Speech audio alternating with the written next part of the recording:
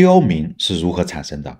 官恶则民刁。这是巴东县原县委书记陈新甲，他逐一研究了巴东出现的恶性事件，对这些案件进行了逐个复盘之后得出的结论。陈新甲在大病一场之后有所感悟：接待上访人员只是治标，要想治本，还是要了解深层次的问题。因为他在工作中确实感觉到了巴东老百姓有一股怨气和戾气，民风和民情都非常的恶劣。他想知道这股怨气和戾气到底是怎么来的。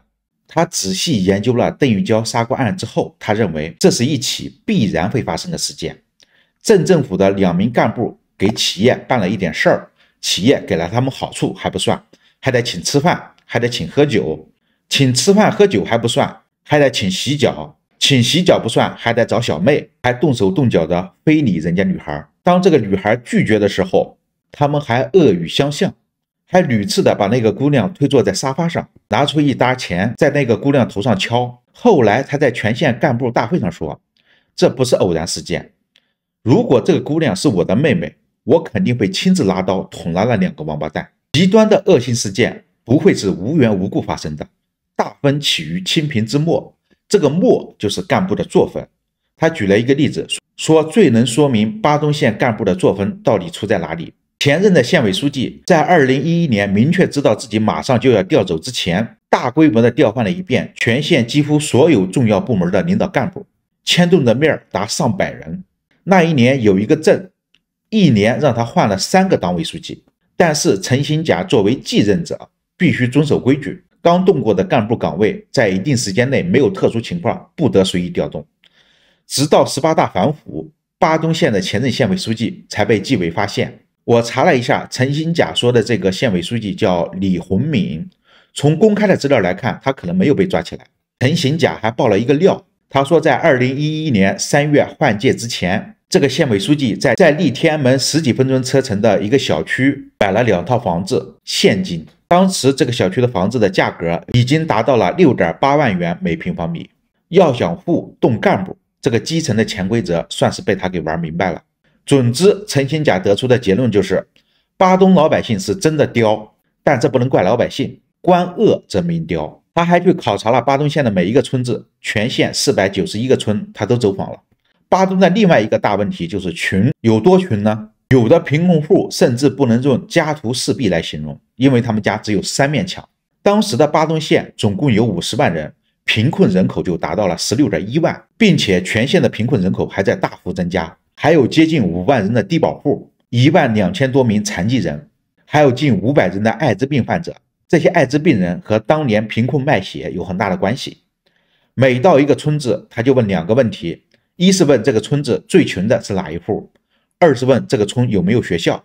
有些村支书的描述和恳求让他觉得有点心酸。我估计是求他要钱了。巴东县穷的其中一个重要原因就是路不好。寇总曾经担任过巴东的县令。当地流传过一句话，说“八百里巴东”。陈新甲原本以为那是诗人写诗夸张，他自己走了一遍巴东之后，发现巴东县从最北端到最南端整整是三百九十七公里，基本上就是八百里。可是这个八百里不是普通的八百里，巴东的山路很崎岖，三百九十七公里的路程，他坐车要六个多小时。把整个县调研完之后，他得出的结论是。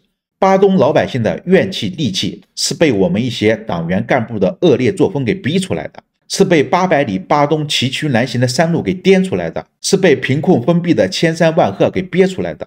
有了这个结论之后，他就开始制定工作路线。他给自己定的思想路线是彻底走群众路线。他还说了一句很唱高调的话，说要带领全县的干部回到人民中去。这其实不是一句简简单单的唱高调的话。到最后你就知道他这一招有多厉害了。他的第一个行动就是号召全县的干部结群亲，说一个干部要帮助一个贫困的家庭，他自己也带头做了。他帮助的家庭是一个患艾滋病儿童的那个家庭，他帮这个小孩治病，帮这个小孩上学。他让县宣传部门大力宣传结群亲的这件事儿。县委书记的号召力还是很强大的。很快这件事在巴东就变成了一场运动。后来他在县委组织部设立了结亲办，由组织部长兼任结亲办的主任。群亲戚的对象是由村支书和村委会筛选出来的，然后接受群众公示监督，上报到乡党委审核确定。他要求每一个副科级以上的干部都必须接一户群亲戚，给多少钱不提要求，但是每年至少要去这个群亲戚家三次住一个晚上。县委宣传部跟进报道这个事迹，网络的力量开始逐渐发挥正面的作用。除了干部之外，还有一批社会爱心人士也加入了这个队伍。这件事儿让陈行甲获得了巨大的支持。然后他开始抓干部作风和干部能力的建设。他开了一个县常委会扩大会议，让全乡镇的党委书记和乡镇长列席，议题是他出题，乡镇书记和镇长们现场作答。虽然形式上是突然袭击，但是题目的内容全是书记和镇长平时最应该熟悉的工作。他给乡镇党委书记提出了三个问题。他问：二零一二年党建工作准备抓哪几件事儿？经济工作的重点是什么？你怎么抓你们乡镇的信访工作？他给镇长的三个必答问题是：你们乡镇里的财政自给率还差多少？二零一二年你们乡镇开门做了哪几项工作？效果如何？最后他给出的整体结论是。乡党委书记中有个别特别出色，整体一般；镇长只有个别回答问题到位，多数是慌不择言，整体水平较差。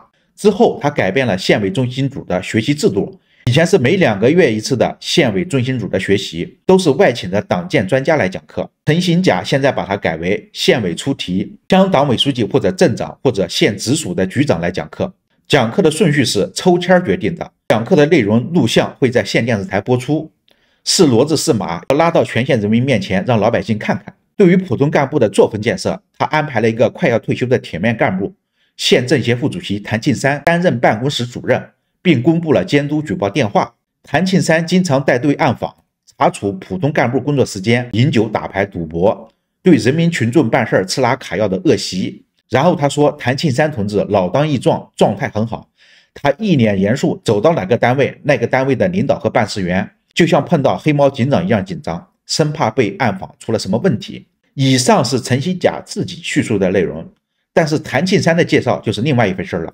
他说，陈新甲刚到巴东县担任县委书记的时候，他干什么事都有人反对，他甚至禁止中午饮酒和禁止官员们赌博，都遭到了反对。开会的时候，有一个副县级官员公开对陈新甲说：“你是讲普通话的，你不懂我们土家族，喝酒是我们的民族风俗。”谭庆山说：“土家族确实有喝酒的习惯。他建议，如果真要禁酒，就先从县直属机关开始，这样才能推行下去。禁止赌博的规定出台后，一名副局长被抓了，准备撤职严惩。有两个老干部找到陈新甲求情，说他一场牌输赢三四百块，你就要撤他的职，那全巴东人都会嘲笑你的。”陈新甲问：“为什么？”老干部说：“全县人民都知道，巴东打牌打得最大的是一个县领导。”你不敢抓他，你拿一个副局长出气，大家当然会嘲笑你。陈新甲很无奈，最后只好从轻发落了。看到这一段，我不知道你有什么感受。我的看法是，这才是真实的县委书记的工作细节。每一件事儿都是需要权衡的。陈新甲是一个好官吗？他肯定是一个好官，但是他完全遵守规则吗？他没法完全遵守。遵守了，他的工作就进行不下去了。比如说那个县领导，他能直接和他 PK 吗？他不能，这就是政治妥协的艺术。为了更大的目标，只能暂时的隐忍。在整顿干部作风的同时，他也在解决巴东县的经济问题。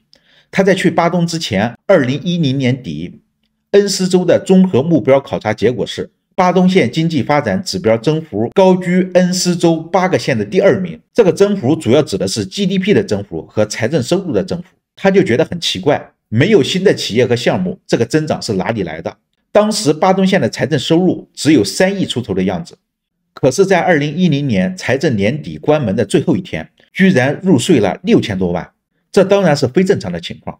真实的情况是，前任的县委书记和县长在换届之年，为了有亮眼的政绩作为提拔的资本，拼了命的往里面灌水。陈新甲说，他去巴东的第一年年底，就在常委会上统一了思想：财政据实关门，不灌一分钱的水。这里面有一个小问题。他为什么要在县委常委会上统一思想，而不说自己做决定呢？这是因为这个指标涉及到县委所有人的利益，他不想升官，还有人想升官呢。要想富，先修路。陈行甲去巴东后的第一年，就抓住了全县老百姓最关注的两个痛点，一个是出行难，一个是办事难。他下了大力气，争取整州交通部门的支持，集中全县的资源搞交通基础设施改善。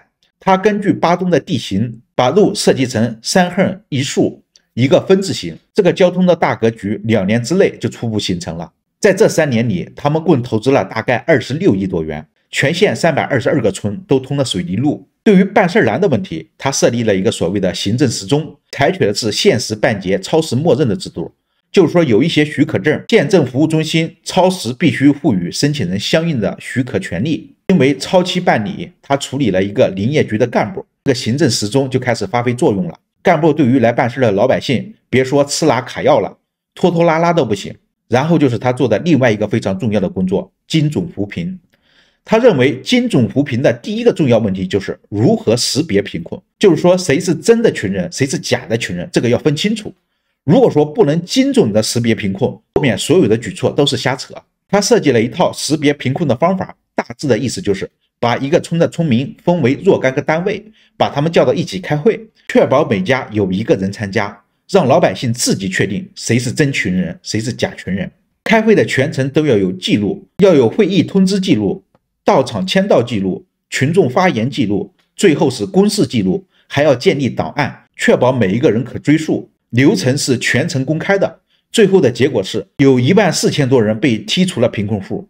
有一万五千人被确定为真的贫困户。二零一六年的一月十六日，央视的新闻联播用了六分多钟的时间报道了巴东县精准识别贫困的开会方法，刷新了湖北上新闻联播的单条时长记录。他有一次亲自参加了会议，老百姓就当着他的面吵了大半天。最终的结果是有三名被确认了是贫困户的被拿了下来，有五名是真的贫困户被加了进去。陈新甲还设立了一个。群众评价干部的体系，他认为有些干部只看领导脸色，不看群众需求，只联系上级，不联系下级。他的工作评价也是年终由领导说了算的，这就形成了一种领导认为好，群众感觉差的状况。然后他尝试委托第三方独立开展民意调查，将全县所有群众的电话号码都采集进数据库，随机打出四万八千个电话，有效接通的有两万八千个。他们向民众提出五个问题：第一个是你们找书记和镇长办事儿，他们态度好吗？第二个，你们镇长和书记给你们解决了实际困难吗？第三个问题是，你们镇长和书记经常到村里或者农户家走访吗？第四个问题是，你感觉自己的生活水平这两年有提高吗？第五个问题是，你们镇长和书记插手过工程项目建设吗？其实他问的这五个问题，就是干部选拔任用的五个考核维度，分别是。德能勤绩廉，他认为只要基数够大，结果一定是公正的。调查出的结果和他平时掌握的情况基本是一致的。有一个镇综合排名是第一的，他也认为这个镇的镇长和书记平时对待老百姓的态度还不错。后来县委还出台了制度规定，对于群众满意率排名后百分之二十的单位，领导干部不得提拔重用，就算你学历再高，有再大的领导为你打招呼都不行。对于民意调查率达不到百分之六十的。群众意见较大的干部必须做出调整。他这里面有个小知识，就是说我们国家的官员一般可以分为五个行政级别，每个级别都有两个小级别，分为正职和副职。干部管理实行的是下管一级的制度，比如说中央只管部级干部，分别是正部级和副部级。按道理来讲，省委他也只能管正厅级和副厅级的干部，但是县委书记是个例外。后来又出台了一个相关的规定。说县委书记也应该归省委管，因为它很重要。就是说，从理论上来讲，只要当地的一把手能扛得住，就算中央领导给他下命令，让他提拔一个科级干部，他也是可以扛住，说我不提拔。当然，这只是理论上的，实际情况是他敢不提拔，他敢不提拔，他就会被他的领导给免职。陈新甲对待这个事情的看法是：共产党的执政伦理是为百姓执政，是人民的公仆。既然是仆人，你就应该看主人的脸色。但是主人有时候没法选择仆人，他想通过影响这些恶仆的竞争之路来逼迫这些仆人看主人的脸色。他的这个尝试主要是想试着在干部管理上靠制度设计，不仅仅靠道德号召。他之所以会这么思考，是因为有一件事让他感触很深，就是在各级领导干部中都要求强调不得买官卖官。那么为什么还有那么多人买官卖官呢？他认为是因为制度方面的不足，让他们可以买官，可以卖官。手握重权的领导人一言九鼎，想提拔谁就提拔谁，收钱又是私下一对一的，只要谨慎一点、巧妙一点，被被发现的概率并不高。除了走现实中的群众路线，他还在网上走群众路线。他在十几年前在清华课堂上听过胡鞍钢的预测，说下一步拉开贫富差距的必定是数据鸿沟。他在基层工作，他觉得胡鞍钢的预测可能会变成现实。巴东县山高路远，地广人稀，最远的村子离县城是两百五十多公里，群众进城办事儿很难。他就推出了一个农民办事儿不出村的信息化项目，作为信息化的突破口。后来他又把金融、还有电商、还有特色农产品的销售等一系列的服务都放在了这个平台上。他们现在有二十六个部门，一百多个审批服务项目，在村里就可以授权。他们审批的事项和承办的商务服务接近了十一万件，有四十二万农民从中受益。